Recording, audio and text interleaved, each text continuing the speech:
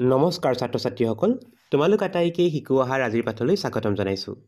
আজিৰ পাঠত আমি এই যিটো ছবি আছে সামন্তৰিকৰ এই সামন্তৰিকটোৰ কালি হিৰণৰ সূত্ৰ ব্যৱহাৰ কৰি উলিয়াবলৈ শিকিম। আহাচোন ছাত্ৰ ছাত্ৰীসকল তেতিয়াহ'লে আমি হিৰণৰ সূত্ৰ ব্যৱহাৰ কৰি এই সামন্তৰিকটোৰ কালি কিদৰে উলিওৱা হয় আমি এবাৰ আলোচনা কৰোঁ।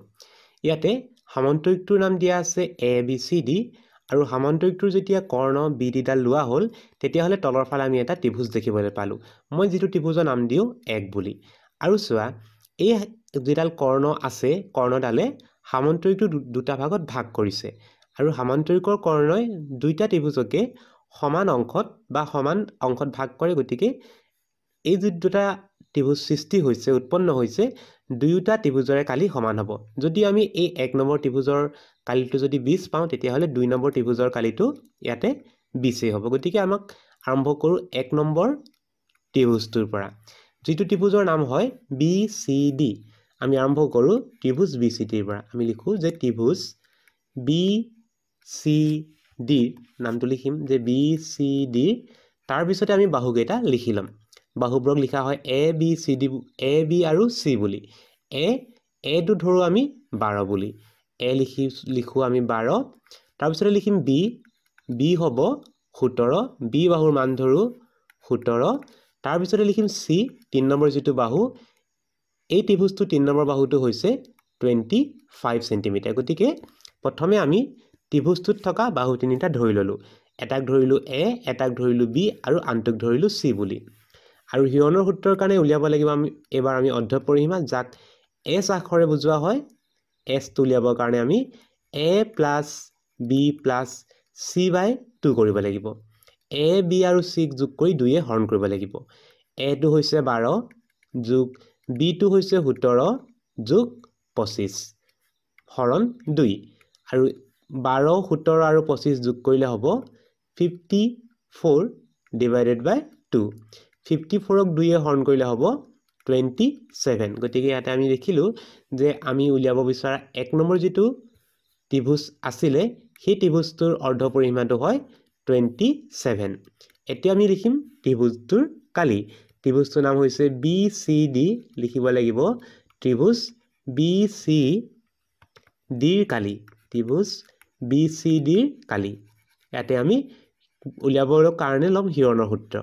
হিৰণৰ সূত্ৰটো এবাৰ লিখি ল'ম root over S into S minus A S minus B আৰু এটা হ'ব এছ মাইনাছ চি ইয়াতে মানকেইটা বহুৱাই দিওঁ।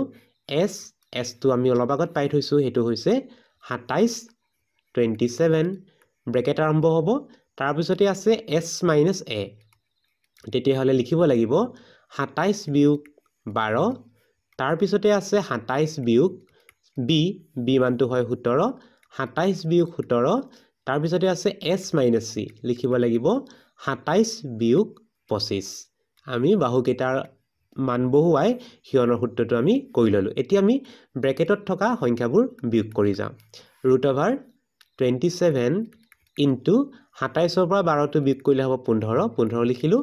যো পূৰণ সাতাইছৰ পৰা সোতৰ বিয়োগ কৰিলে হ'ব দহ। ওৱান জিৰ' টেন ইনটু তাৰপিছতে সাতাইছৰ পৰা পঁচিছটো বিয়োগ কৰিলে পাম আমি দুই দুই লিখোঁ এতিয়া আমি উৎপাদকত ভাঙোঁ।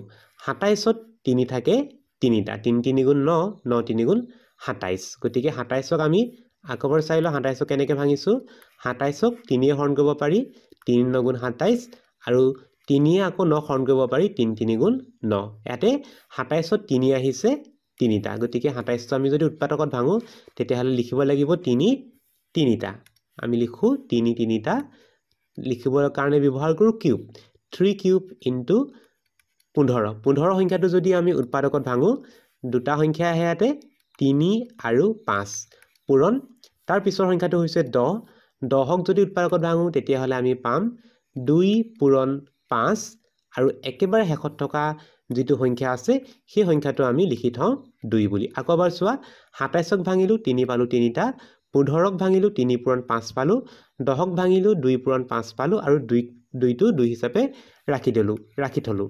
এতিয়া চোৱা আমি ৰুট অভাৰ চিনৰ ভিতৰত তিনিটো কেইবাৰ পালোঁ। ইয়াতে আহিলে তিনিবাৰ আৰু ইয়াত আহিলে এবাৰ। তিনিটো পালোঁ মুঠতে চাৰিবাৰ। আমি লিখিব লাগিব থ্ৰী টু দি পোৱাৰ ফ'ৰ তিনি চাৰিটা পালোঁ three to the power four তাৰপিছতে যদি আমি পাঁচ সংখ্যাটোৰ কথা চাওঁ পাঁচটো পাইছোঁ ইয়াতে দুবাৰ। আমি লিখিব লাগিব ফাইভ স্কোৱাৰ পূৰণ দুই আহিছে ইয়াতে দুবাৰ।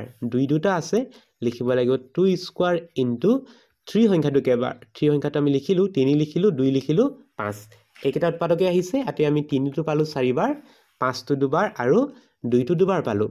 বৰ্গমূল উলিয়াবলৈ ঘাটবোৰ আমি আধা কৰিম। চাৰিৰ আধাটো হৈছে দুই গতিকে থ্ৰী স্কোৱাৰ হ'ব। পূৰণ দুই আধাটো হৈছে এক অকল পাঁচ লিখিব লাগিব আৰু দুই আধাটো হয় এক গতিকে টু স্কোৱাৰৰ ঠাইতো আমি বৰ্গমূল লোৱাৰ কাৰণে পাম আমি দুই। এতিয়া এই সংখ্যাকেইটা পূৰণ কৰোঁ। পাঁচ দুগুণে হয় দহ আৰু তিনি থ্ৰী টু স্কোৱাৰ কৰিলে হ'ব ন। দহ নগুণ হ'ব নব্বৈ পাম আমি নব্বৈ চেণ্টিমিটাৰ স্কোৱাৰ এতিয়া আমি যাওঁ গোটেই চতুৰ্ভুজটোলৈ গোটেই সামন্তৰিকটোলৈ যাওঁ। এতিয়া চোৱা এ বি চি ডিৰ কালি যদি নব্বৈ চেণ্টিমিটাৰ হয় তেতিয়াহ'লে ওপৰত থকা যিটো ত্ৰিভুজ আছে এ এ বি ডি এই ত্ৰিভুজৰ কালিও হ'ব নব্বৈ চেণ্টিমিটাৰ কেনেকৈ হ'ব চোৱা এটা বাহু পঁচিছ আমি যদি দুই নম্বৰ ত্ৰিভুজটোৰ কথা যদি চাওঁ বি চি মানটো যদি বাৰ হয় এই বাহুটোৰ মানো হ'ব বাৰ। আৰু চি ডি মানটো যদি সোতৰ হয় এই এ বি মানটো হ'ব সোতৰ। তেতিয়াহ'লে ইয়াতে আমি এছ সাতাইছ পাম। আকৌ S into S minus A S minus B S minus C কৰিলে একেটা উত্তৰে পাম। গতিকে তোমালোকে এটা অংশ কৰি বাকীটো অংশ তোমালোকে লিখি দিবা যে ত্ৰিভুজ এ বি ডিৰ কালি। ত্ৰিভুজ এ বি ডিৰ কালি। ত্ৰিভুজ এ বি ডিৰ কালিটো হ'ব নব্বৈ চেণ্টিমিটাৰ স্কোৱাৰ কাৰণ দুইটা ত্ৰিভুজৰ কালি সমান। এতিয়া যাম গোটেই সামান্তৰিকটোলৈ। আমি লিখিম যে সামান্তৰিকৰ কালি। সামান্তৰিকটোৰ কালি। সামান্তৰিকটোৰ কালি লিখোঁ। সামান্তৰিকৰ কালি লিখি আমি দুইটা কালি যোগ কৰিম। প্ৰথমটো পালোঁ আমি নব্বৈ নব্বৈ আৰু আনটো পালোঁ নব্বৈ। নব্বৈৰ লগত নব্বৈ যোগ কৰিলে হ'ব এশ গতিকে সামান্তৰিক নব্বৈৰ লগত নব্বৈ যোগ কৰিলে হ'ব এশ আশী হ'ব। গতিকে কালিটো হ'ব এশ আশী চেণ্টিমিটাৰ স্কোৱাৰ ছাত্ৰ ছাত্ৰীসকল আজিৰ পাঠটি ইমানতে সামৰিছোঁ। নতুন এটি পাঠৰ আলোচনাৰ সৈতে তোমালোকক পুনৰ লগ পাম বুলি আশা ৰাখিলোঁ। নমস্কাৰ।